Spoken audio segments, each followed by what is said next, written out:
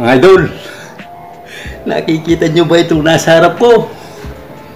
Balat ng saging ito. At saka tubig, mga limang litro. Ano sa palagay nyo ang gagawin ko dito, mga idol? Ha? Napasubo ata ako sa video ito. Kaya, huwag kayong alis. Panurin nyo hanggang sa uli. Para malaman nyo kung ano ang gagawin ko dito. Mga idol, na po, samahan nyo ako para makita nyo kung ano itong gagawin kong ito. Ha? Tara po!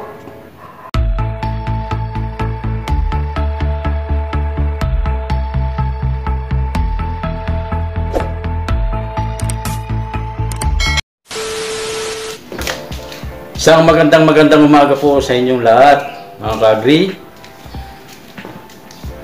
mga plantito at mga plantita, mga viewers, at bayani ng OFW. Mga idol, nandito na naman po si Oben Agrium, muling gagawa ng panibagong video sa araw na ito. Pero bago po yun, ay nais ko muna ko yung pasalamatan sa lahat ng pagsuporta nyo sa aking mga video. Kaya maraming maraming salamat po sa inyo mga idol. Kaya halina po kayo at samahan nyo ako sa panibagong video ng aking gagawin ngayon sa araw na ito. Tara na po!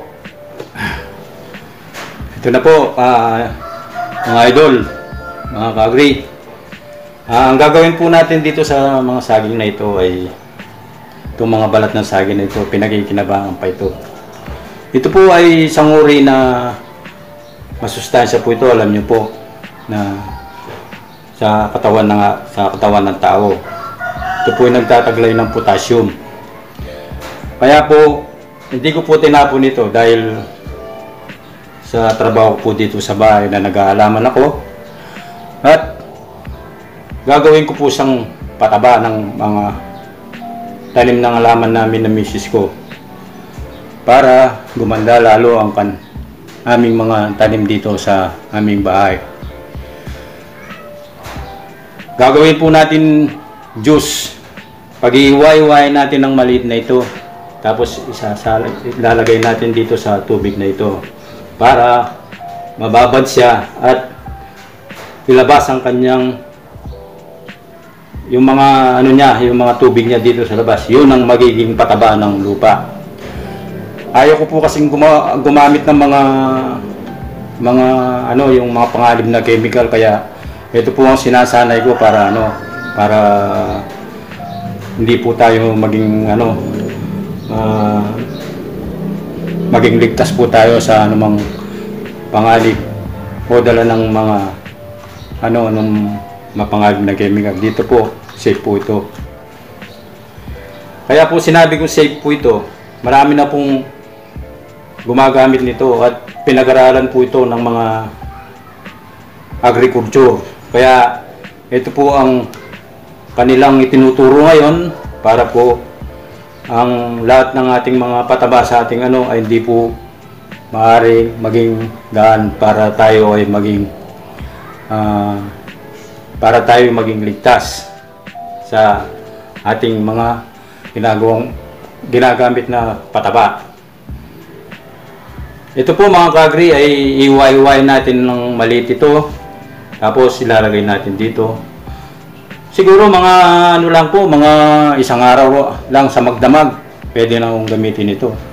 Kaya sa lahat po ng mga baguhan at wala pang alam dito, ibinabahagi ko po sa inyo ito para magkaroon po kayo ng uh, mabisang pamamaraan para sa mga paggamit ng fertilizer.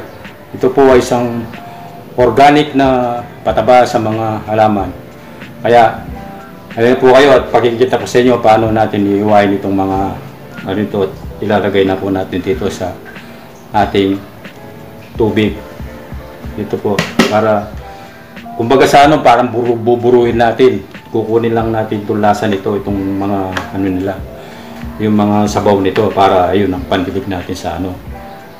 Yun po magiging ano yun pampatibay ng katawan ng halaman kasi potassium po ito. Ayan po mga idol, mga agri. Iwain na muna natin ng itong ano maliliit ng ating ano para at kung maglagay po tayo ng ano, dapat po yung tubig hanggang dito lang po. Huwag natin punuin ano kasi once na po kasi pag linagay natin itong ano nito, balat nito, pag namaga po ito papupuno hanggang dito. Kaya dapat po may mayroon siyang allowance dito. Kasi papasok natin dito yung ano eh, yung space po nito, kailangan meron siyang space po. Kaya ito po mga kagri, putulin na natin para mailagan natin at matapos na itong ating ginagawa. Yun po. Yan. Nasa inyo po kung anong ano po ninyo, kung gusto niyo pong matutunan to o gayahin ito, nasa inyo po ito. Kasi kaya po pinakita ko lang po sa inyo kung meron pong mag-interest na ah, gumawa nito sa mga nag-aalaman, lalo na yung mga nasa bahay, wala pong hindi po nila alam yung mga ganitong pamamaraan, ay meron po silang matutunan dito. At ito'y pinagmamalaki ko naman po kasi mga nag-aaral po ito, mga agriculture na, na nagtuturo ng mga ganito. Kaya natutunan ko po ito at binabahagi ko rin din sa mga taong wala pang kaalaman. Kaya, at para-paraan lang po kung anong dapat natin gawin. Pero kahit na po anong balat ng saging, basta balat ng saging pwede kasi yan po kasi yung saging, yung nagtataglay po ng potassium yan. Kaya kahit na anong balat po pwede. Kasi ako po kasi, itong balat ng saba, kasi yung saba po kasi yun ang ano paborito kong pagkain eh. Good for the heart. At minimerienda ko po ito kahit na hindi luto, kinakain ko. Tapos pagkatapos ng kakain ako, ito rin pong ginagawa kong ano, yung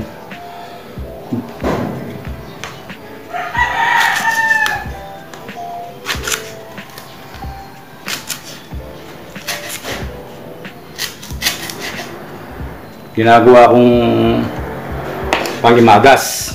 Ayan po. Ganyan lang po yan, oh.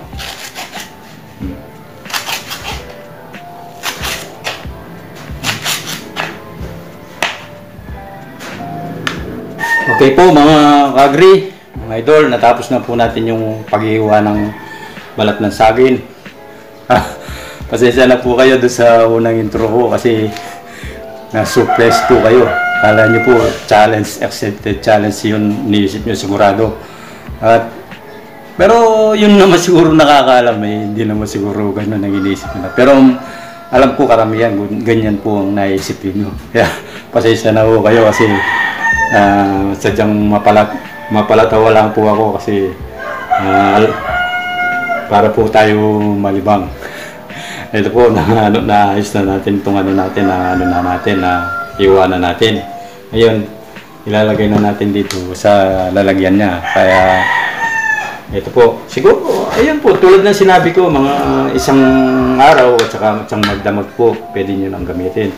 Tapos, pag nadilig nyo na, pagdilig niya po ninyo, yung pong disposable na baso ng ganyan, yung disposable, yung ganyang kalaki. Yun ang po pansasalok natin, tapos yun isang alaman, gano'n. Pa isang gala, alaman yun ang ano natin. Para hindi po sumobra. Yun po ang talagang ano ko, yung pinag-aralan ko po yung kaya ganyan po yung ang tinuturo ko po sa inyo dito. Para po mm, pagdating ng araw hindi nyo sisihin kasi po ah, nagtuturo po ako ng ganito tapos ah, may nangyari sa mga laman nyo. Nasa inyo naman po yun eh. Kung makikita nyo naman sumusobra eh, dapat kasi bawal naman po talaga pag sumobra eh. Ah, makikita naman po natin at sakali mong pong mangyari yun at mayroong, mayroong anong na-overdose po yung mga laman ninyo sa tubig, sa kakadilig, eh, experience na rin po yun. Malalaman ninyo kung ano, ano sa susunod na ano, hindi nyo na uulitin yun. Kasi napag-aralan yun na natin. At ganun din po ako sa una, kaya ganyan po ang sinasabi ko sa inyo, kaya tinuturo ko po sa inyo ito. Yan. Lalabas po yung ano, katas ng saging na ito. Yan po ang magiging ah, fertilizer po. Organic fertilizer.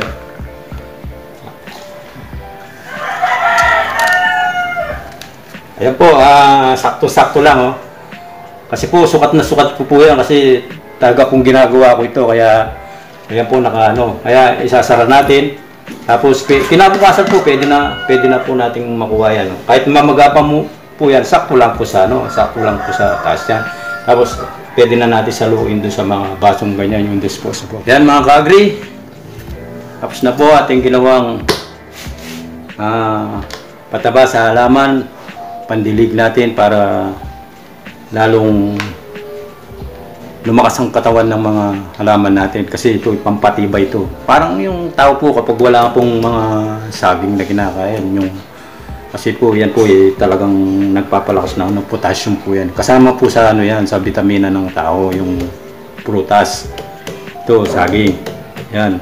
Kaya pagka nadilig natin ito, makikita natin kung ano yung epekto ng ano. Kaya pag-aralan din po natin para hindi tayo ano kasi kung basta-basta lang lang tayo gagamit at may mangyari naman sa ating mga tanim ay buti nang huwag na tayong gumawa. Pero pwede pa rin naman yung kahit na may mangyari kasi eh, experience din naman yun eh. Katulad ng unang nasabi ko, experience kasi gan ganun din ang nangyari sa akin. Pero ah, pinag-aralan ko para po ah, sa susunod din na po ma hindi na po mangyayari yung mga ganung paraan. Kaya isakto-sakto lang po yung mga sinasabi ko sa inyo na ganun lang kalaki yung kaso. Tapos i-ano natin doon sa ano, idilig natin doon sa puno ng ano, alaman. Tama na po 'yun, wag mo nang pasobrahan 'yun. Tapos sa susunod na ano, sa pang isang linggo, ganun na, isang linggo, isang linggo yung ano, pagitan bago kayo mag, magdilig ng ganito. Para hindi po masyadong sumobra naman sa potassium ang ating mga halaman. Ayun po mga kagri, sana po may natutunan kayo sa aking ginawang video sa araw na ito.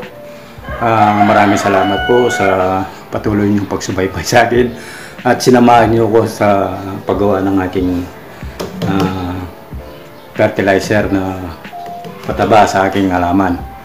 Kaya mga kagri, mga idol, kung nagustuhan niyo po ang aking video, mag-like po kayo at mag-comment sa ibaba.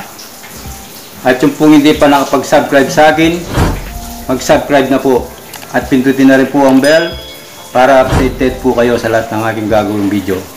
Hanggang sa muli, ang inyong lingkod, Ruben Agriom. Paalam. And God bless po sa inyong lahat.